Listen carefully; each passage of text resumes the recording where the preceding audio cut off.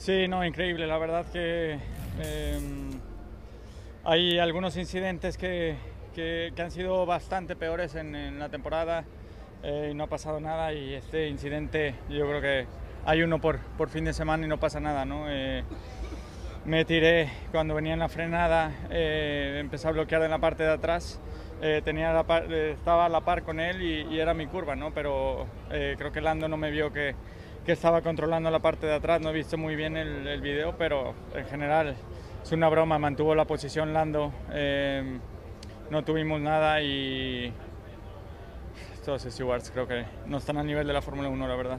Ahora, muy rara la, las últimas vueltas. Trabajo en equipo entre Ferrari y Red Bull tratando de alejarse ahí. Fue, fue interesante eso también. Sí, estaba, estaba intentando, eh, obviamente Charles, ¿no? eh, darme la posición, pero creo que le faltó algunos, algún segundo, ¿no? Haber parado a Russell en el, en el último sector. Creo que era, era posible haberlo parado un poco.